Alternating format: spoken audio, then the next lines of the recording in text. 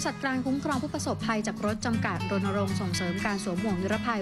100%เพื่อตอกย้ำให้ผู้ขับขี่รถจักรยานยนต์ เห็นความสำคัญในการสวมหมวกนิรภัยนายนพดลสันติภากรกรรมการผู้จัดการบริษัทกลางคุ้มครองผู้ประสบภัยจากรถจำกัดกล่าวว่า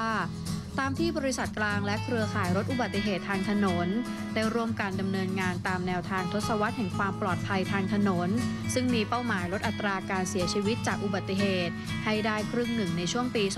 2554 ถึง 2563ผลปรากฏว่าเมื่อเทียบสถิติระหว่าง 6 เดือนแรกของปี 2554 กับปี 2555 พบว่า เครือข่ายรับแจ้งเหตุของบริษัทกลางในปี 2555 นี้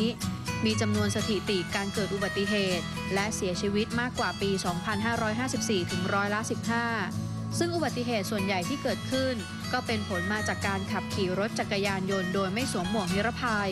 ดังนั้นจึงอยากเน้นย้ำให้ผู้ขับขี่รถจักรยานยนต์ ตระหนักถึงความสำคัญการสวมหมวกนิรภัยให้มากขึ้น เพื่อให้เกิดความปลอดภัยในการใช้รถใช้ถนน